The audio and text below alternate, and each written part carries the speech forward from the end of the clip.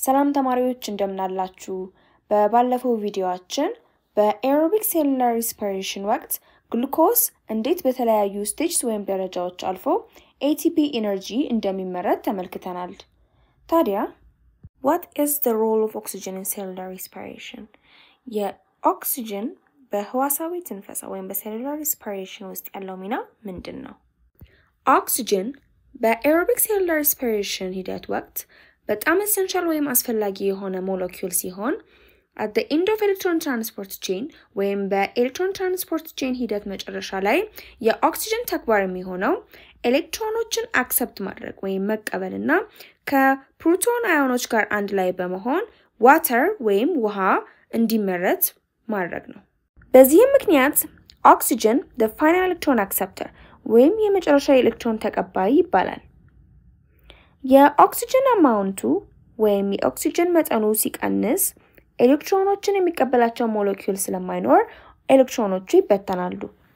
በዚህም የተነሳ electron transport chain discontinued ሆኖ ወይም ተቋርጦ aerobic cellular respiration ይቆማል ማለት ነው።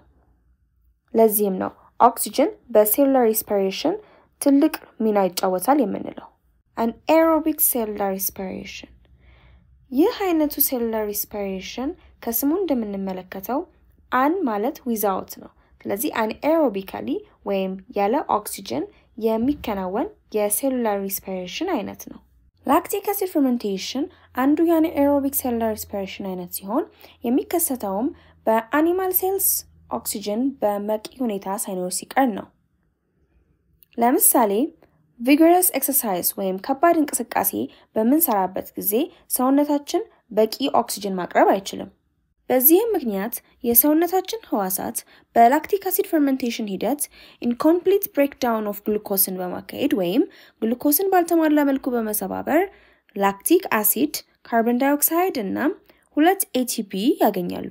ethanol or alcoholic fermentation ይህ ሌላኛው የ anaerobic cellular respiration አይነት ሲሆን የሚከሰተውም እንደ yeast ባሉ microorganisms ወይም ጥቃቅን ፍጥረቶች ውስጥ ነው።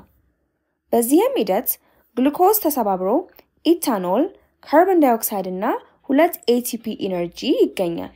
አሁን ስለ cellular respiration ወይም ህዋሳዊ ትንፈሳ ምንነት፣ የት እንደሚከሰትና ኦክሲጅን በህዋሳዊ ትንፈሳ ውስጥ ስላለው ሚና እንደተገነዘባችሁ ተስፋ በማድረግ ወደ ጥያቄዎች ላምራ።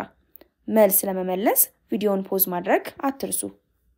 የመጀመሪያው ጥያቄ The formation of ATP energy from the breakdown of glucose using oxygen is known as dash ኦክሲጅንን በመጠቀም ግሉኮስን ሰባብሮ ATP ኃይልን የማግኘት ሂደት dash በመባል ይታወቃል።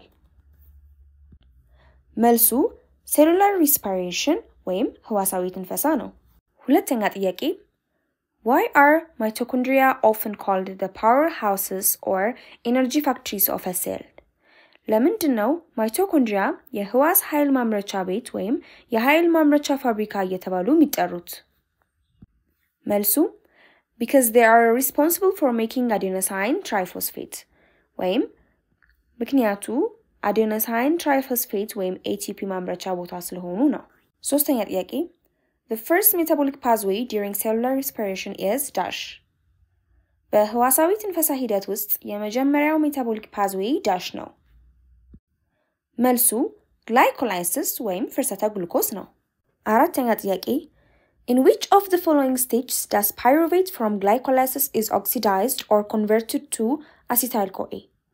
ከሚከተሉት በየትኛው ደረጃ ላይ ነው? ከ glycolysis የመጣው pyruvate ወደ acetyl-CoA የሚቀየረው? A.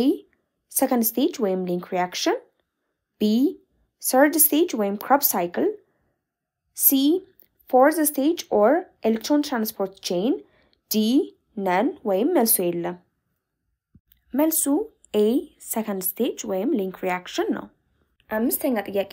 at the end of electron transport dash is the final electron acceptor። በ electron transport chain መጨረሻ ላይ ኤሌክትሮኖችን የሚቀበለው dash ነው። A ካርቦን ዳይኦክሳይድ፣ B ኦክሲጅን፣ C NADH፣ D FADH2። መልሱ B ኦክሲጅን ነው። ወደ መጨረሻ ጥያቄ ስመራ the type of anaerobic respiration that produces lactic acid in the process is dash በ dash አይነት anaerobic respiration ሂደት ውስጥ lactic acid ይመረታል። A ethanol or alcoholic fermentation፣ B lactic acid fermentation። መልሱ lactic acid fermentation ነው። የዛሬው ቪዲዮአችን በዚህ ያበቃል። የሳቆማው ዩቲዩብ ቻናላችንን like፣ share፣ subscribe ማድረግ እንዳትረሱ። በ description ውስጥ ያለውን link በመጫን እና በሳቆማው website ላይ በመሄድ ተጨማሪ ጥያቄዎችን መስራት ትችላላችሁ።